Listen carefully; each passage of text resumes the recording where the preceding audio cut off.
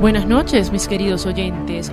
Bienvenidos al segundo programa de Paradigmas Universales que les habla Nailé Rodríguez. Estamos bajo la dirección de Rafael Escalante y en la gerencia de producción de José Ignacio Ruiz por CIMA 929 FM. Pueden seguirnos a través de su página web www.cima929fm.com.be.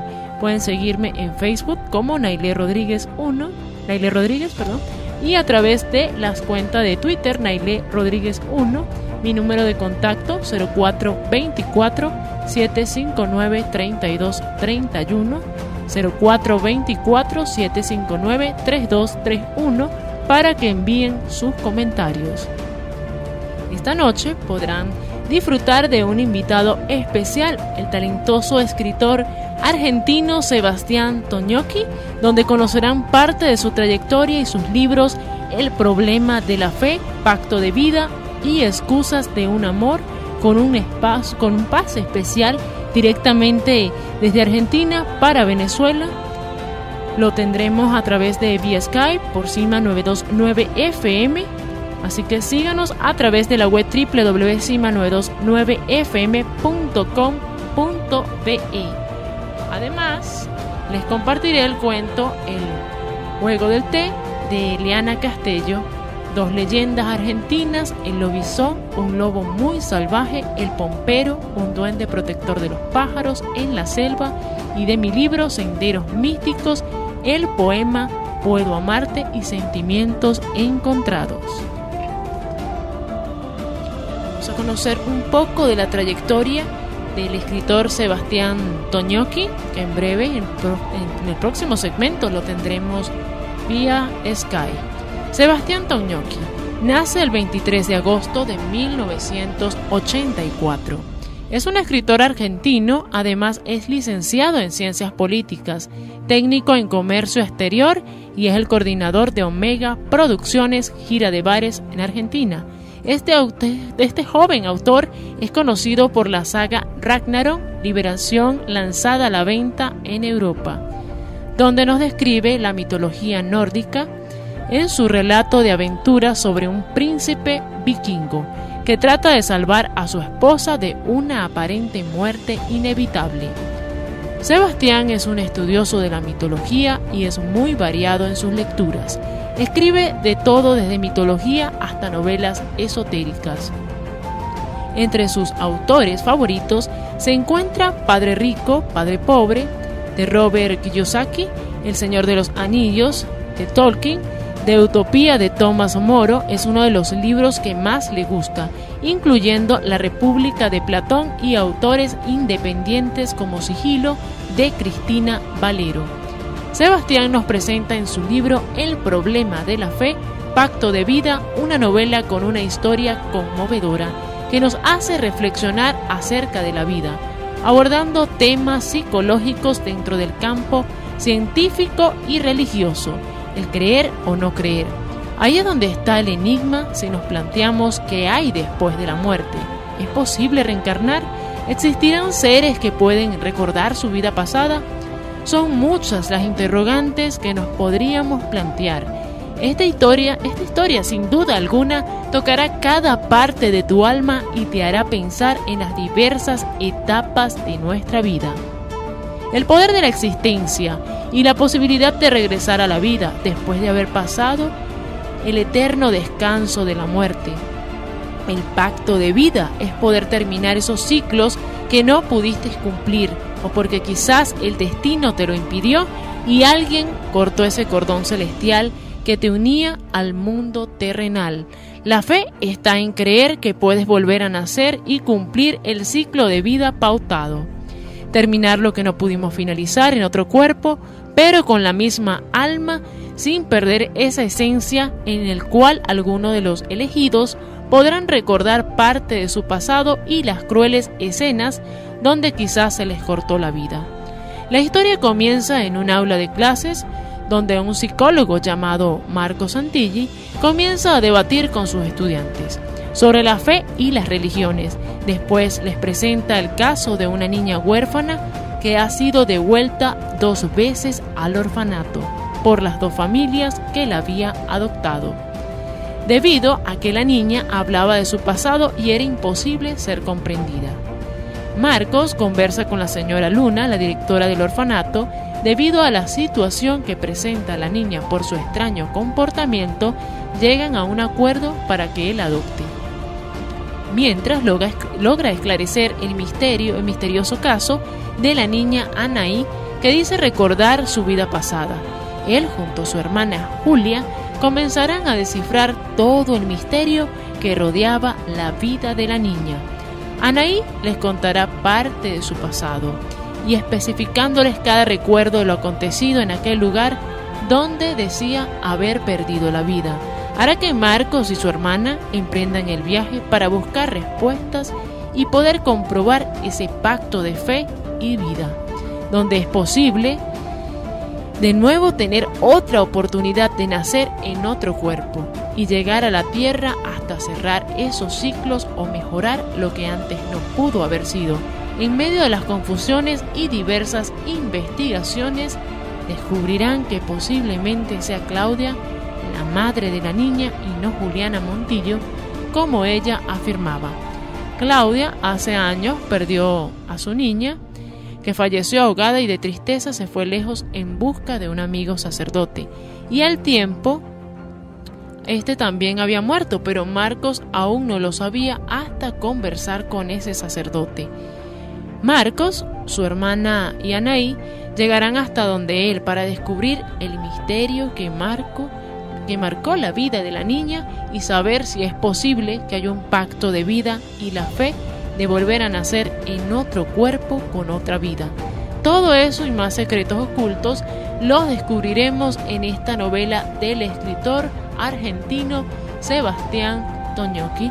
Además, Sebastián Toñoqui nos sumerge en otra nueva historia de romance y drama. Es una en su novela Excusas de un amor, describiéndonos los maravillosos paisajes del sur Argentina, Río de Plata y Uruguay.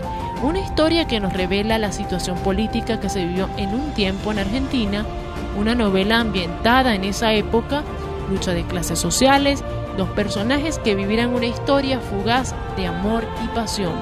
Un hombre joven enamorado que revela su amor a través de una carta y esa dama es Melissa, que juntos pasarán diversas controversias y duros momentos escapando para luchar por ese amor y duras pruebas que deben superar. Melissa tendrá que huir de su marido por este amor fugaz. Ella era una mujer casada de buena posición, pero carente de afectos, el cual el joven, el hombre joven, soñador, el que la ama con locura, la envolverá en una inmensa pasión. En el siguiente segmento podremos conversar con el escritor para que nos cuente de su trayectoria y sus proyectos. Así que ya regresamos por Cima 92.9 FM con la entrevista a Sebastián Toñoki directamente desde Argentina a través de B-Sky.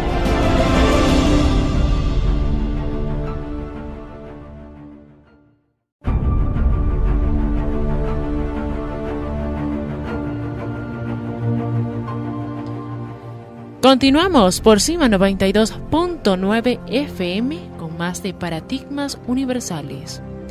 Y antes de la entrevista con Sebastián Toñoki, les voy a dar una información del escritor, ya que el 15 de diciembre a las 14 horas será la presentación de su antología erótica multiautor 14 pecaminosos en terapia bar cultural, un cóctel para recordar fue seleccionado para participar y hablar un poco de esa antología.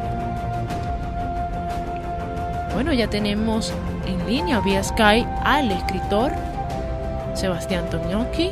Buenas noches, bienvenido al programa Paradigmas Universales. Es un honor tener como invitado al escritor argentino Sebastián Toñocchi directamente desde Argentina lo tenemos en línea acá encima 929 FM desde la ciudad de Valera. ¿Cómo está?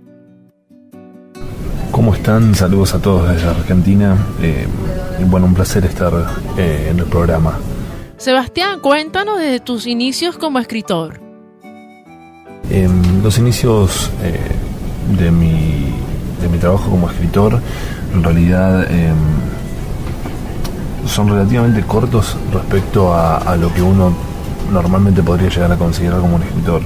Eh, sin embargo, bueno, lo cierto es que yo escribo desde siempre. Estudié la carrera de licenciatura en ciencia política y ya ahí comencé a hacer mis primeras escrituras. Uno va leyendo, en mi caso, autores súper reconocidos a nivel mundial y obviamente que se va eh, se le va despertando un, montón de ideas y un montón de, intenciones eh, o, ese morbo que hay en algún punto en el cual uno quiere hacerse ver, uno quiere hacerse escuchar, ¿no? Entonces allí comenzaron mis primeros escritos, pero lo cierto es que hasta Saga Ragnarok, en la cual yo me, me decidí a, realmente sentarme a escribir un libro, no todo lo que había escrito hasta el momento no, lo habían publicado y lo cierto es que, eh, bueno, fue recién ahí toda una gran novedad. Ha escrito varios libros, eres reconocido por la trilogía Ragnarok. ¿Cómo fue ese proceso de creación e inspiración y tu pasión hacia los temas mitológicos? Bueno, en realidad no sé si llamarme reconocido, pero lo cierto es que Saga Ragnarok, eh, la trilogía sí me da a mí la posibilidad de, bueno, de salir, de hacerme, em, entre comillas, conocido, de, poder mostrarme. Em, la verdad que sí, es cierto, soy, soy un apasionado por los temas mitológicos, pero en realidad es una pasión que a mí me, me termina contagiando, si se quiere de alguna manera. Eh, eh, el, coautor de Saga Ragnarok de la trilogía que se llama Alejandro Coelho. Él es el verdadero fanático y fue el, verdadero creador de la historia, ¿no? Eh, quien, quien tramó toda la historia, que, que fue eh, edificándola en su mente y bueno, a mí me tocó más bien la parte de, obviamente participación, pero por sobre todas las cosas redacción. Sebastián, he tenido la dicha de poder leer tus libros, lo cual me resulta muy interesante Eres un escritor que atrapa a los lectores con tu manera sorpresiva en el desarrollo de cada una de tus novelas, desde mitología, el tema de la reencarnación y la ternura del amor. En tu libro El problema de la fe, Pacto de Vida, nos revelas el tema de la muerte, el de creer o no creer, en esa segunda oportunidad de regresar de la muerte, un camino totalmente desconocido, ¿De dónde surgió la idea de abordar ese tema en cuanto a lo científico y religioso para desarrollar esos enigmas y misterios de la vida? ¿Y si has soñado o tenido revelaciones sobre estos temas? Bueno, sí, es cierto que tuvo la oportunidad de leer mis libros. Eh, siempre me, dice que la verdad es que le gustan mucho. Eh, particularmente mm, El problema de la fe es una novela que a mí me encanta, si bien el, nombre pareciera ser de un libro un poco más cristiano, religioso. Eh, es, no deja de ser una novela es y es básicamente es un, es un enigma es, plantea, plantea un gran enigma, ¿no? Es una novela esotérica que plantea un gran enigma y sí, eh, para ser sincero, para poder escribir El problema de la fe, que particularmente es la obra que más me gusta de las que tengo hechas, eh, es, tuve que volcar mucho, mucho de creencia mía, mucho de creencia personal, tanto en cómo se, a mi entender se suceden las cosas, eh, como también eh, bueno, se desarrolla y, quien la haya leído la vaya a leer lo va a poder comprender, se desarrolla una, una, una, idea científica también del asunto, que, bueno, al menos abre una teoría más, ¿no? Eh, pero bueno, sí, obviamente, tengo, tengo una fuerte creencia en esto y eso me permite desarrollar eh, la temática de la novela. Y viene una segunda parte de la novela, El problema de la fe, Pacto de Vida. Existe, claro, claro que sí, existe una segunda parte del problema de la fe.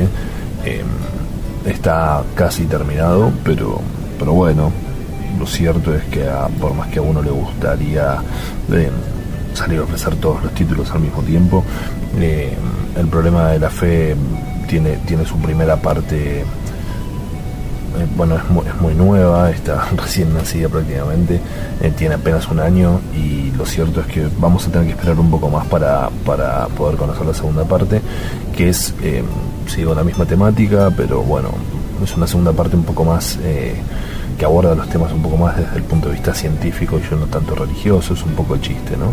Eh, es un poco el sentido de la novela. Pero sí, claro, hay una segunda parte y, se viene muy bien. Y ahora lo cierto es que tenemos el lanzamiento de Excusas de un Amor, eh, que también es la primera parte de esa novela. Y bueno, hay que, hay que darle aire a las novelas, hay, que dejarlas que, crezcan y que y, bueno, ver qué es lo que pasa, ¿no? Cuál es la recepción de, del público, de los lectores. Sebastián, otra de tus más recientes obras es Excusas de un Amor y es tu nuevo lanzamiento para tu público venezolano y el mundo que nos siguen a través de la web. Cuéntanos cómo fue ese proceso. El amor, algo que prevalece en el ser, dos personajes importantes, las luchas por tratar de defender lo que dos almas sentían. ¿Tiene algo de ti alguno de los personajes? Bueno, lo primero que, que yo debería contarles es que es algo que yo digo siempre, ¿no? Lo cierto es que no, me considero un, escritor eh, que, se rija bajo un determinado estereotipo y se fije ahí. Lo cierto es que mi primera novela fue mitológica, eh, o, bueno, una aventura mitológica, la segunda novela es, una novela de misterio esotérica y esta tercera novela es un drama erótico, eh, romántico, que, bueno, tiene tintes diferentes, intenté escribirlo de una manera diferente, intenté que la dialéctica sea diferente, incluso Excusas de un amor es una novela de época, del año 1920, que, se desarrolla y ocurre en, o comienza la historia en el sur argentino, en la ciudad de San Carlos, de Bariloche actualmente, en su época era la ciudad de San Carlos. Eh, y yo tengo que admitir que bueno, yo soy soy un enamorado del amor, o sea, me, yo creo en el amor, creo en el compromiso entre dos personas y creo, creo en el amor eterno. Es una realidad. Creo realmente en que, en que uno puede amar de, maneras muy diversas, de maneras muy diferentes y que a veces, eh, bueno, a veces el amor no es como uno lo esperaba, pero no por eso deja de ser amor y, uno tiene que saber ver y saber entender que eso que resultó de una manera tan diferente a como uno lo esperaba, eso sigue siendo amor. Em, es una novela hermosa de, bueno, dos personajes eh, que cada uno tiene su vida y que, que, bueno, que su vida se, se, desarrollan paralelamente y en algún punto se encuentran, en algún punto se conectan y a partir de ese momento se comienza a desarrollar la historia de, bueno, de amor, de intriga, de un drama con infidelidades, con tintes eróticos. No es una novela erótica, pero tiene sus tintes eróticos. La verdad que estoy muy contento. Estoy muy contento y la recepción de la gente, la verdad que viene siendo excelente respecto a esta novela. Así que espero que el público venezolano eh, la pueda disfrutar. Está la preventa en este momento en las plataformas de Amazon. ¿Cuál sería tu mayor sueño en la vida y tus nuevos proyectos? Em, nuevos proyectos siempre hay. Eh, tengo, tengo muchas ganas, si fuese por mí yo viviría escribiendo y viviría escribiendo diferentes historias. Eh, pero bueno, no, En, lo inmediato, o en relativamente inmediato, eh, los próximos proyectos son, bueno, dejar evolucionar estas novelas que fueron lanzadas ahora.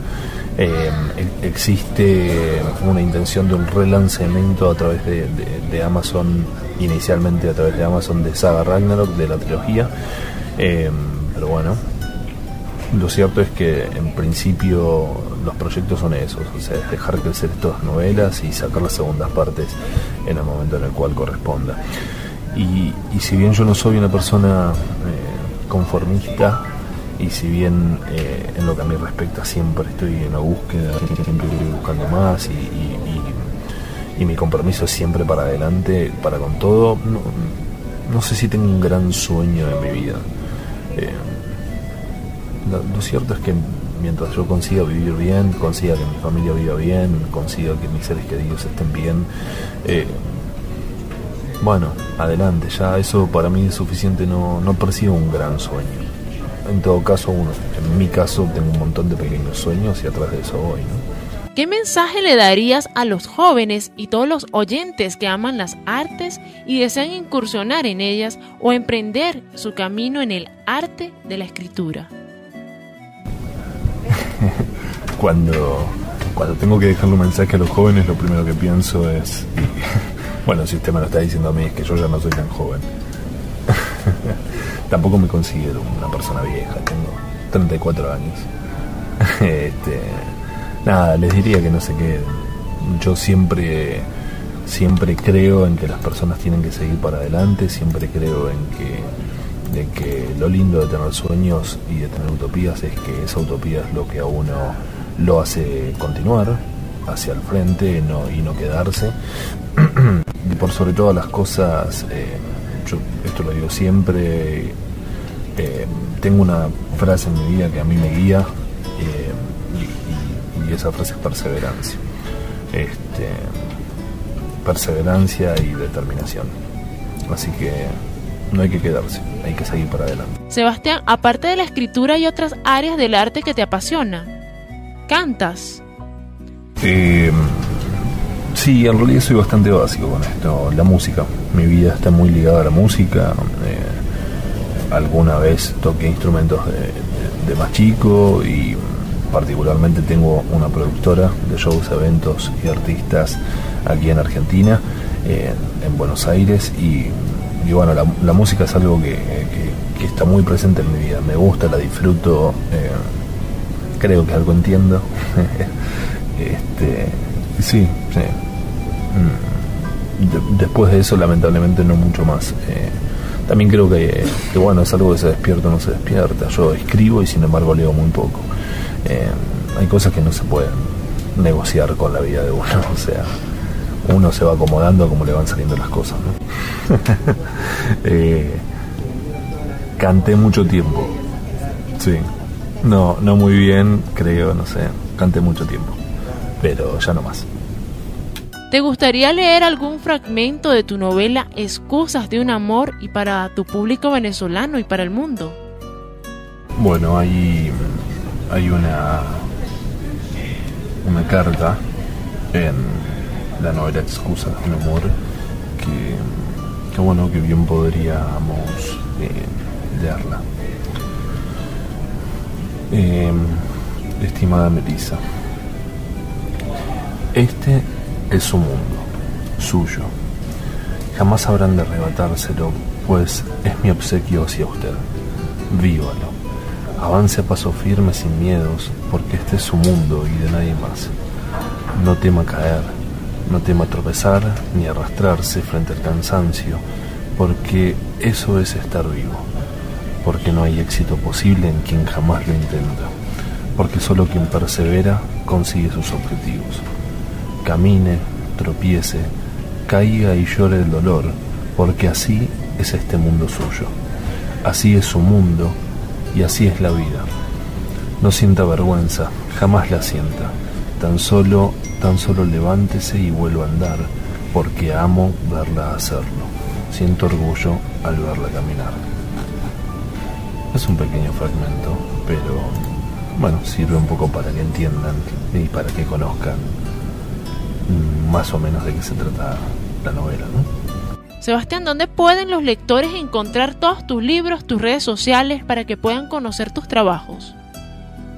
Bueno, y por supuesto que todo lo que está hablando a través de Amazon lo que tiene es la facilidad, así como el ebook se descarga y uno lo lee desde una plataforma, desde un, desde un cualquier tipo, o sea, a través de la app, a través de cualquier dispositivo, eh, celulares, tablets y demás.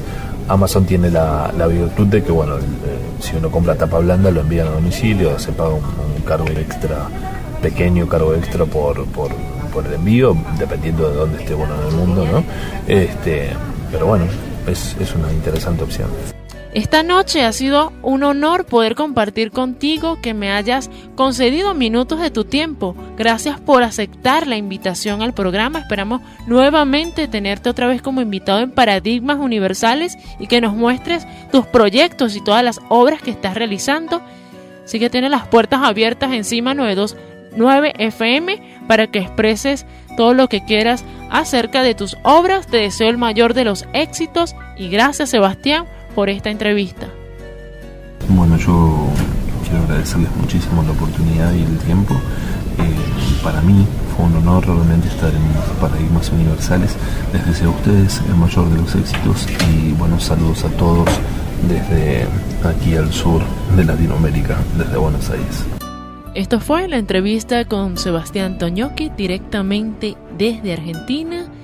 Así que los invito a que continúen con paradigmas universales, ya que en el próximo segmento les voy a compartir sobre un cuento argentino, el juego del té de Liana Castello y dos leyendas, el lobizón, un lobo muy salvaje, el pompero, un duende protector de los pájaros en la selva. Ya regresamos con más de paradigmas universales.